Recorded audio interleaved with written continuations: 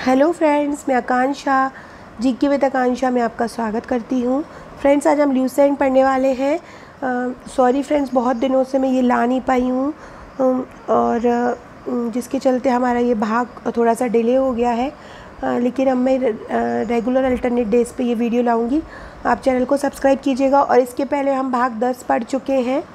और, अब हम इसके भाग ग्यारह पढ़ने वाले हैं। इसके पहले के भाग अगर आपने नहीं देखे हैं तो आप प्लेलिस्ट में जाइएगा। प्लेलिस्ट में आपको ल्यूसेंट करके एक आ, नाम मिलेगा। आप वहाँ पे क्लिक कीजिएगा वहाँ आपको इसके पूरे भाग मिल जाएँगे। तो चलिए स्टार्ट करते इसके पहले हम इसके 250 क्वेश्चन कर चुके थे। ये पचास हज़ार प्रश्नों का एक फैक्ट है। यकीन मानिए, अगर आप ल्यूसेंट के पचास हज़ार प्रश्न कर लेते हैं, कोई भी वनडे एग्ज़ाम आपका छूटेगा नहीं, क्योंकि हंड्रेड आउट ऑफ़ हंड्रेड तो वन किसी भी वनडे एग्ज़ाम में कोई लाता नहीं है। और सत्तर से अस्सी नंबर सत्तर नंबर साठ से सत्तर नंबर ल्यूसेंट आपको दिलाता है प्लस टेन मार्क्स आपका करेंट अफेयर्स रहता है। तो आप किसी भी एग्ज़ाम को फाइट करने जा रहे हैं, ये पचास हज़ार फैक्ट पढ़ लीजिए, आपका बहुत आसानी से होगा।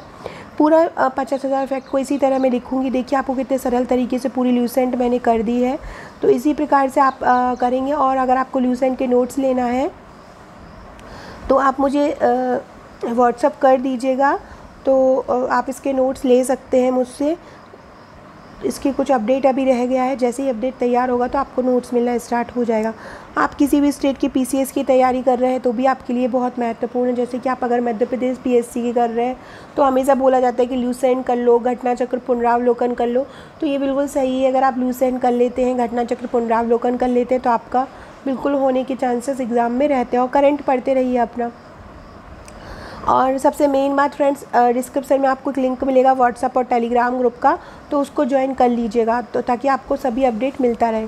पहला क्वेश्चन है, लोथल किस नदी के किनारे है और कहाँ पर है? तो लोथल भोगवा नदी के किनारे है और ये गुजरात में है, अहमदाबाद में। अहमदाबाद का एक गुजरात जगह है, वहाँ पे भोगवा नदी के किनारे लोथल है। देखिए फ्रेंड्स इसको ट्रिक द्वारा भी आप याद कर सकते हैं लोथल और भोगवा को। लोभ। लोभ से याद रखिएगा। लो से आपका हो जाएगा लोथल और भा से हो जाएगा आपका भोगवा। तो लो लोथल का क्या हो जाएगा? लोथल किस नदी के किनारे है? तो भोगवा नदी के किनारे है और ये भोगवा कहाँ पे है? अहमदाबाद के गुजरात में है। नेक्स्ट है, लोथल की खोज किसने की थी? लोथल की खोज रंगनाथ राव ने की थी। 1955 से उन्नीस सौ बासठ में इनकी खोज हुई थी। आलमगीरपुर किस नदी के किनारे है? आलमगीरपुर हिंडन नदी के किनारे है और ये उत्तर प्रदेश के मेरठ में है। आलमगीरपुर किस नदी के किनारे है? हिंडन नदी के किनारे है, उत्तर प्रदेश के मेरठ में। आलमगीरपुर की खोज किसने की थी? आलमगीरपुर की खोज यज्ञदत्त शर्मा ने की थी उन्नीस सौ अट्ठावन में। आगम आलमगीरपुर उत्तर प्रदेश के मेरठ में है, हिंडन नदी के ये किनारे है। उन्नीस सौ अट्ठावन में यज्ञदत्त शर्मा ने इसकी खोज की थी। नेक्स्ट है सुत कांगेडोर किस नदी के किनारे है? सुत कांगेडोर दास्क नदी के किनारे है और ये पाक के, पाकिस्तान के मकरान ज़िले में आता है। सुत कांगेडोर किस नदी के किनारे है? दास्क नदी के किनारे है और ये पाकिस्तान के मकरान में आता है। नेक्स्ट है सुत कांगेडोर की खोज किसने की थी? सुत कांगेडोर की खोज ऑरेंज स्टाइल ने की थी। ऑरेंज स्टाइल ने सुत कांगेडोर की खोज की थी। नेक्स्ट है, बनमाली किस नदी के किनारे है? बनमाली रंगोई नदी के किनारे है और ये हरियाणा के हिसार ज़िले में है।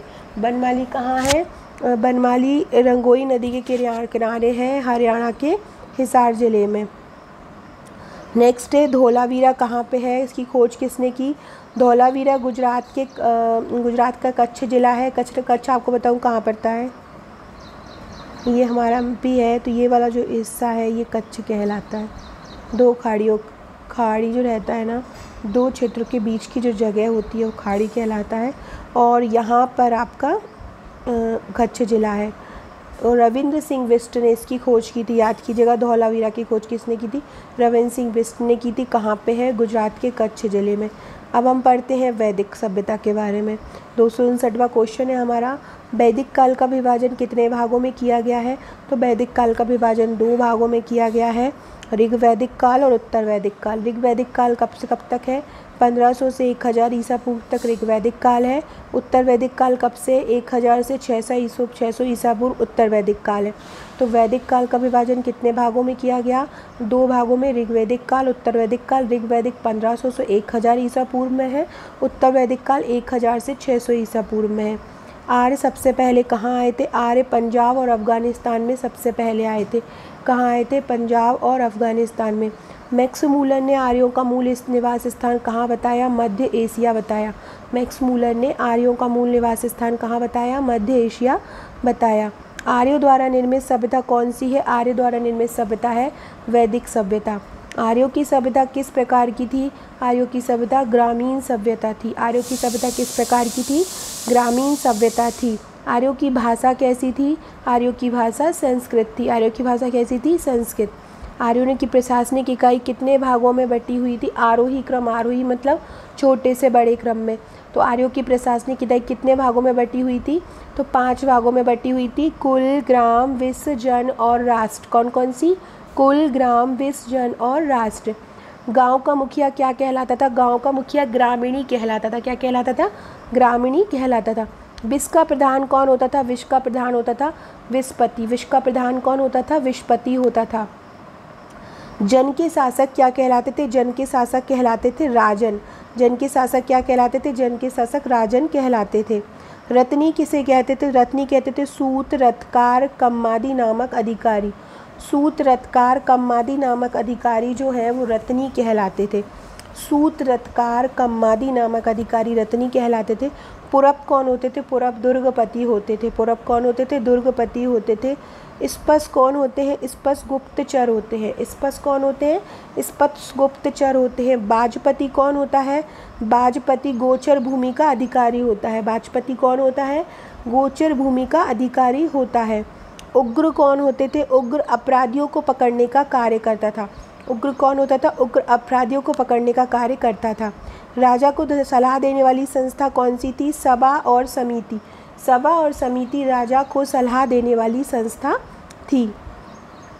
नेक्स्ट है, दो सौ पचहत्तरवा क्वेश्चन सामान्य जनता का देखिए, जो सभा और समिति थी, जो राजा को सलाह देती थी जो तो उनमें से कुछ प्रतिनिधित्व करती थी अलग अलग लोगों का। जो सभा होती थी, वो श्रेष्ठ लोगों का प्रतिनिधित्व करती थी और जो समिति होती थी, वो सामान्य जनता का प्रतिनिधित्व करती थी। मतलब जो बड़े बड़े लोग होंगे बड़े बड़े अधिकारी टाइप लोग होंगे, उनका जो प्रतिनिधित्व करेगी, वो कौन सी समिति करेगी? सभा करेगी। और सामान्य जनता का जो प्रतिनिधित्व करती थी, उसको मेनली समिति ही बोलते थे।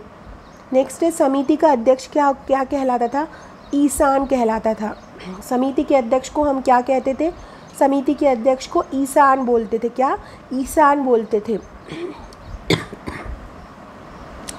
युद्ध में कबीले का नेतृत्व कौन करता था? युद्ध में कबीले, युद्ध में जब कबीला, एक कबीला जो बन जाता था, दस से पंद्रह लोगों का समूह बन जाता या इससे ज़्यादा लोगों का तो उसका एक नेतृत्व करता होता था जो बताता था क्या करना है।